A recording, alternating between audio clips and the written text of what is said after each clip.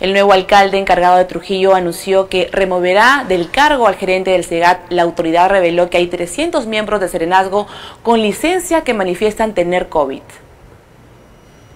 Lo primero que voy a hacer es cambiar al gerente de SEGAT porque mis parques de Trujillo están una desgracia. Así de tajante respondió el nuevo alcalde interino de Trujillo, Noé Anticona, a la pregunta de cuál sería su primera acción como burgomaestre. Él mencionó que removerá del cargo al actual gerente del SEGAT, Javier Torres. Está una desgracia las piletas de, de acá de Pizarro.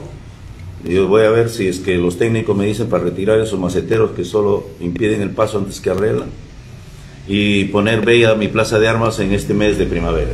Anticona mencionó que hay dos candidatos para asumir el cargo de la OPD y que esta decisión la tomará en las próximas horas. Asimismo reveló que hay 300 efectivos de Serenazgo que se encuentran con licencia. Sí, ahorita he encontrado que hay 300 de los 800, 300 que están con licencia, dicen que están con el COVID, etcétera. Voy a pedir una sinceridad. Si no quieren regresar, se irán a su casa, pero voy a ver la moda. No podemos contratar a personas, 300 personas que están en su casa este, aduciendo que tienen licencia, que tienen COVID, que tienen mayor de edad. El Estado ya autorizó que todos nosotros salgamos a trabajar. Con respecto a las motocicletas de seguridad ciudadana que se encuentran sin operar, mencionó que para el lunes ya se debería solucionar este inconveniente. La autoridad mencionó que esta situación se presenta por la tardanza en la licitación para la compra del combustible.